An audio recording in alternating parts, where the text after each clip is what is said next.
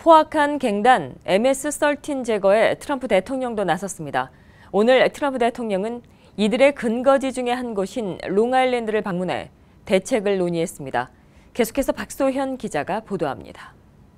히스패닉 갱단 MS-13을 막기 위해 도널드 트럼프 대통령이 갱단과의 전쟁을 선포했습니다. MS-13 갱단의 근거지 중 한 곳인 롱아일랜드 방문이 그 신호탄입니다. MS-13는 현재 가장 포악한 범죄 집단으로 지목된 갱단으로 곳곳에서 살인과 갈취, 마약 밀매, 밀입국, 성매매 등 심각한 범죄를 저지르고 있습니다.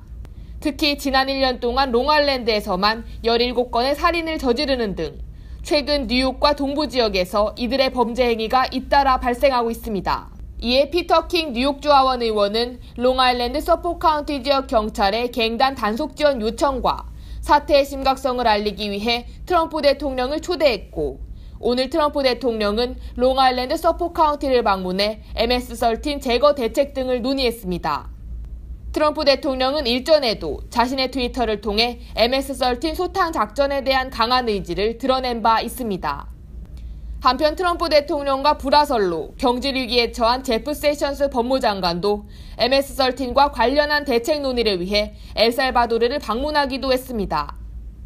점점 잔혹해지는 갱단의 뿌리를 뽑기 위해 트럼프 행정부는 이 갱단을 테러 집단으로 지정하는 방안도 검토 중입니다. KBTV 박소연입니다.